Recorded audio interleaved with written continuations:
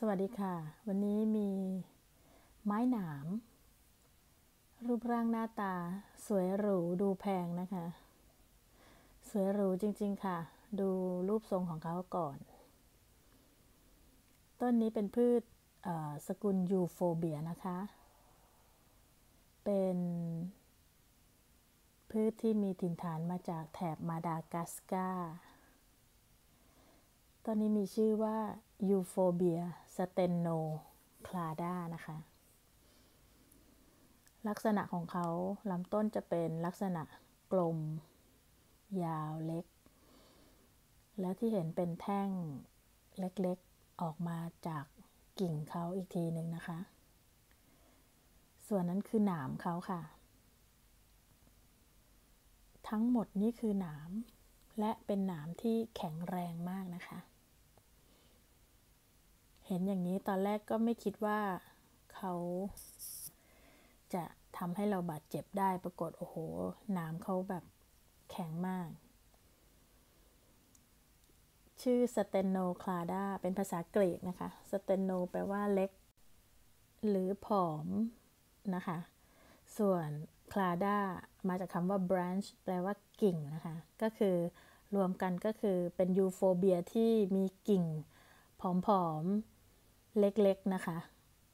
ก็คือคงจะคล้ายกับลักษณะต้นเขานี่นะคะที่เป็นลักษณะเป็นกิ่งที่ผอมเล็กแล้วก็ยาวออกไปนะคะ เขาเป็นไม้ทรงพุ่มนะคะ สามารถสูงได้ถึงเกือบ 4 เมตรเลย กว้างได้ประมาณสักเกือบ 2 เมตรเลย ก็ต้นใหญ่ทีเดียวนะคะ ดูภาพจากาทางเน็ตอะไรอย่างเงี้ยเคยเห็นแบบต้นเขาสูงใหญ่มาก ต้นนี้เขามีดอกด้วยนะคะ ดอกเขาจะเป็นสีเหลืองๆเล็ก ๆ อย่างที่ขึ้นภาพให้ดูนะคะ เพราะว่าที่ปลูกนี่ยังไม่เห็นดอกนะคะ แล้วก็มีผลด้วย การขยายพันธุ์ของเขาก็คือใช้เมล็ดจากผล เพาะเมล็ดได้ หรือการตัดกิ่งปักชำซึ่งวันนี้เราก็จะทำการตัดกิ่งปักชำให้ดูกันด้วยนะคะ จุดเด่นของต้นนี้นะคะ คือลำต้นที่มีลักษณะสี ถ้าเป็นภาษาอังกฤษเขาก็จะบอกว่า blue to silver นะคะ ก็คือสีฟ้าไปจนถึงสีเงิน คือจริง ๆ แล้วนะ่ะสายพันธุ์นี้เขาจะมีอีกอันนึงที่เป็นสีเขียวนะคะเขาก็จะเรียกเป็นยูโฟเบียขาวกวางเหมือนกัน แต่สำหรับต้นนี้ที่เราขึ้นต้นมาแต่แรกว่าสวยหรูเนี่ยนะคะ ก็คือเพราะว่าลำต้นของเขาเป็นสีเงินค่ะ เป็นสีออก เงินอมฟ้านะคะ ส่วนยอดอ่อนเวลาเขาแตกยอดอ่อนขึ้นขึ้นมาเนี่ย ยอดเขาจะมีลักษณะนิ่มนะคะ หนามเขาก็จะนิ่ม ตอนที่เขางอกออกมา แต่พอเขาเป็นกิ่งที่แก่ปุ๊บเนี่ย ส่วนหนามเนี่ยนะคะ ก็จะแข็งแล้วก็คมมากค่ะ คือมองอย่างเนี้ย มองไม่ออกจริง ๆนะคะ ว่าเขาแบบอันตราย แต่คือ ในในข้อมูลที่เขาให้มานี่คือ เขาระบุเลยนะคะว่า เจ้าต้นเนี้ยห้ามปลูกในที่สาธารณะ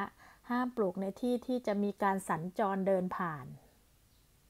เพราะว่ามันจะเป็นอันตรายจริง ๆ คือถ้าไปเกี่ยวเอาที่คนหรือว่าสัตว์เลี้ยงเนี่ยก็จะเกิดอันตราย เพราะฉะนั้นเนี่ยเขาก็เลยระบุว่าเป็นอยู่ในหมวดหมู่ต้นไม้ค่อนข้างอันตราย แต่สำหรับพวกเราเราที่เป็น สาวกคนรักไม้หนามก็คงเฉยๆใช่ไหมคะ แต่ว่ารอบนี้ก็ใช้ไม้คีบก่อนค่ะ ถ้าเกิดเราจะมีการทำการตัดหรืออะไรเพื่อความปลอดภัยนะคะ เดี๋ยวเราจะเเริ่มตัดกิ่งแล้วก็นำไปปักชำกันเลยนะคะ ค่ะ เดี๋ยวเราก็จะตัดกิ่ง เราจะเลือกกิ่งที่อยู่ด้านล่างนะคะ เพราะว่าสำหรับต้นนี้เราต้องการให้เขาเป็นลำต้นที่สูงขึ้นไปนี่นะคะโอ้โหยางเขาเยอะมากเลยค่ะ ช่วงนี้น้ำยางเยอะมากนี่นะคะพืชสกุลยูโฟเบียก็จะมีน้ำยางสีขาวนะคะ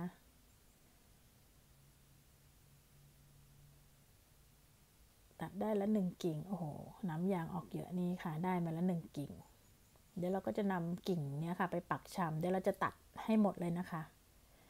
ตัดยากหน่อยค่ะ เพราะว่าพอดีเราปลูกปนไปกับเนี่ยค่ะเห็นไหมคะ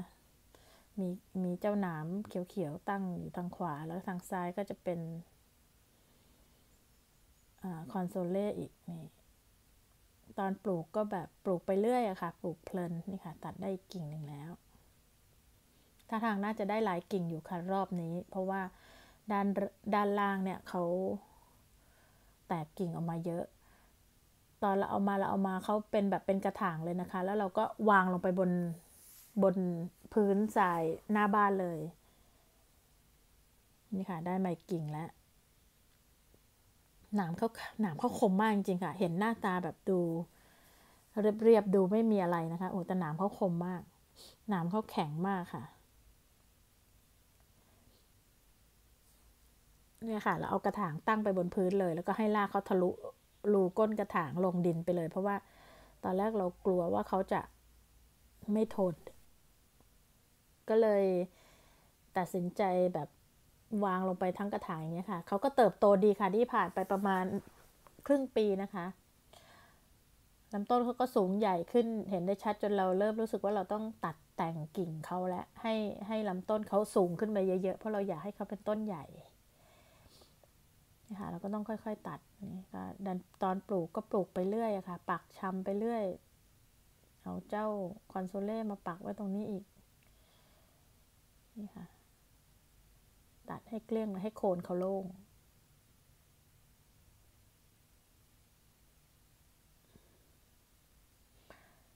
ต้นนี้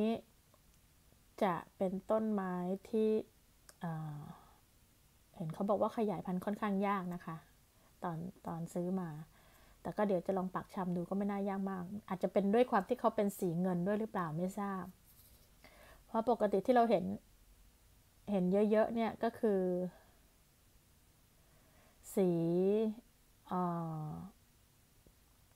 ออกเขียวๆเนี่ยก็เห็นเยอะแล้วแต่สำหรับต้นนี้คือสีเงินนะคะ คือนึกถึงแบบว่าถ้าเราปลูกไปเรื่อย ๆ แล้ว เขา เติบโตเป็นต้นใหญ่แล้วแบบโอ้โห สีเงินทั้งต้น แล้วพอแสงแดดส่องลงมานี่ ต้องสวยมากแน่ๆเลยค่ะ ก็อีกหนึ่งต้นนะคะ ถ้าแนะนำถ้าใครสนใจ อยากจะลองปลูกก็ลองทักมาได้ค่ะ เราเราเราพงพอมีกิ่งเหลือแบ่ง แต่ราคาจะค่อนข้างสูงนิดนึงนะคะ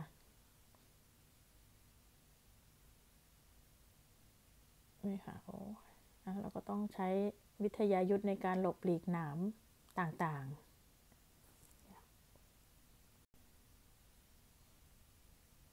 ค่ะ เดี๋ยวเราก็จะตัดไปเรื่อยๆ นี่ค่ะ ต้องใช้ไม้คีบเราโอ้โหน้ำยางเยอะมากจริง ๆ น้ำยางออกเยอะจริง ๆ ค่ะ ไม่ทราบว่าเกี่ยวกับว่าตอนนี้เป็นหน้าฝนแล้วเขาได้น้ำเยอะหรือเปล่า ก็เลยทำให้น้ำยางเยอะ น้ำยางใสแล้วก็เลยออกมาเยอะนะคะ นี่ค่ะ เราก็ต้องโอ้เอามือค้อมไป ตามตัวก็จะโดนตามแล้วค่ะนี่ค่ะ ต้นเขาค่อนข้าง ค่อนข้างแข็งแรงช่วงนี้คือเขาโตขึ้นเยอะแล้วหลังจากที่เราเอามาลงอีกวิธีหนึ่งนะคะที่เราแนะนำถ้าเกิดคนอยากจะนำพวกไม้หนามมาลงดินหน้าบ้านกลางแจ้งอะไรอย่างเงี้ยนะคะ ใช้วิธีวางทั้งกระถางค่ะ คือกระถางที่เราปลูกไว้อะ เราเอามาวางทั้งกระถางเลย แต่ต้องกระถางต้องมีรูนะคะ หรือว่าถ้าเป็นกระถางดินเผาแล้วก็เอาเอาค้อนทุบก้นกระถางให้เขา ให้เขามีรูให้เพื่อให้ให้รากเนี่ยทะลุผ่านจากกระถางลงดินไปได้ก็จะเป็นการป้องกันคอต้นเน่าได้ดีนะคะ คือถ้าเกิดเราต้องขุดหลุมแล้วฝังเนี่ยบางที่เนี่ยดินอาจจะแบบมีการระบายน้ำไม่ดี แต่ถ้าเกิดเราปลูกในกระถางแล้วเราใช้ดินที่ร่วนซุยใช่ไหมคะ แล้วพอเวลาเราจะเอาไปปลูกกลางแจ้งเนี่ย เราวางไปทั้งกระถางเลยก็ได้หรือว่าฝังแค่ครึ่งกระถาง ก็จะเป็นการป้องกันการเน่าได้นะคะ ค่ะ นี่เราก็เก็บที่เราตัดนะคะ กิ่งเล็กกิ่งน้อยเราเก็บหมดค่ะ เดี๋ยวเราจะเอาไปปักชำให้ดูนะคะ ค่อยๆเก็บไปค่ะ น้ำยางออกเยอะมากจริง ๆ อาจจะเป็นว่าช่วงนี้เขาได้น้ำเยอะ พอได้น้ำเยอะเขาก็เลยทำให้เขามีน้ำยางมากนะคะ นี่ค่ะ นี่ก็คือที่เราเก็บมาได้ เดี๋ยวเราจะทำการปลูกนะคะ นี่ก็คือดินที่เราเตรียมไว้สำหรับปลูกค่ะ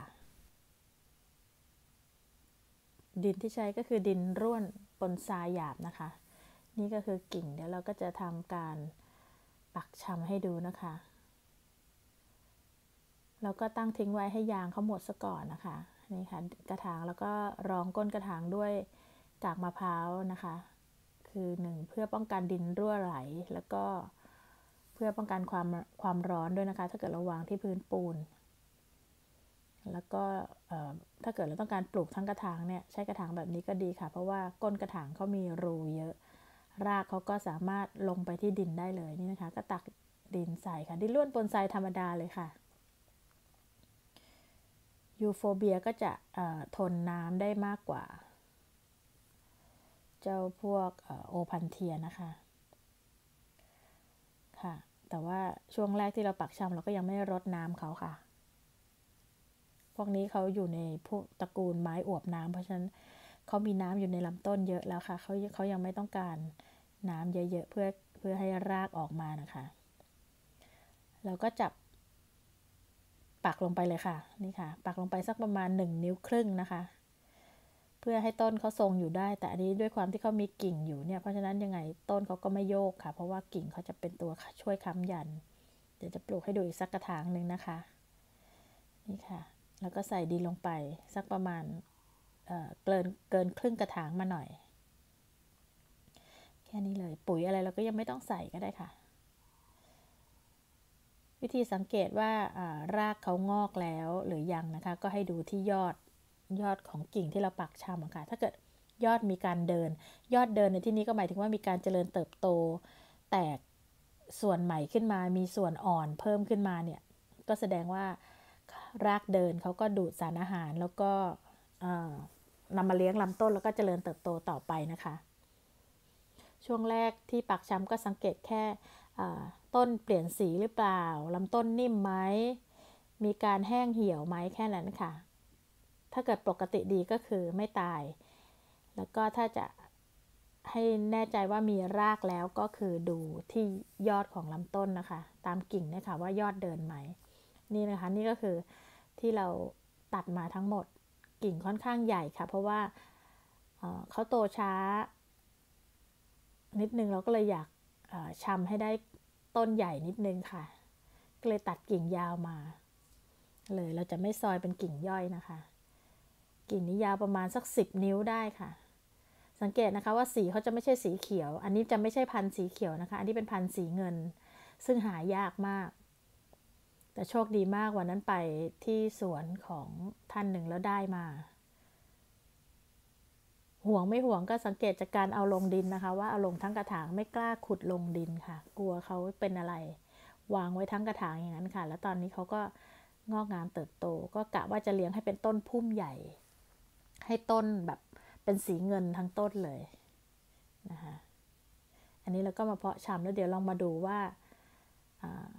เขาจะงอกไหมนะคะ แล้วก็มาดูไปด้วยกันมาลุ้นไปด้วยกันค่ะเพิ่งเคยอลองชำครั้งแรกค่ะ แต่ว่านี่คือวิธีที่เขาใช้ปักชำเจ้าต้นนี้กันนะคะ ก็แค่นี้แหละค่ะง่ายๆเราก็วางในที่แดดรำไรนะคะ แล้วก็ไม่ต้องให้แฉะมากค่ะ